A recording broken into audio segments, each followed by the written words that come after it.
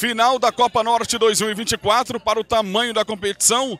Competição já há muitos anos, com um clássico, mesmo com o primeiro jogo, o Nacional tendo vencido por 4 a 0, com a vantagem. Não foi um jogo fácil e nada melhor que um grande nome para essa final, Katúcia Meyerberger. E que jogo foi esse? Um grande espetáculo, né?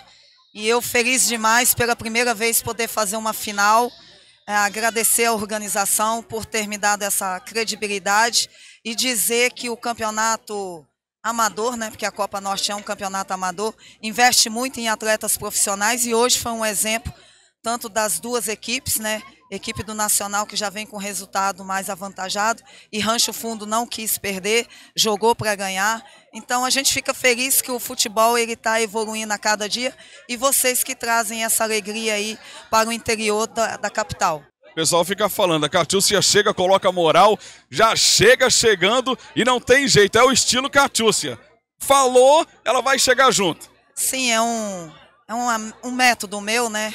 Então a gente tenta, assim, com todo respeito, eu peço desculpas, às vezes a gente é um pouco mais agressivo, mas a, as duas equipes, os jogadores, eles entendem também, e foi um grande espetáculo.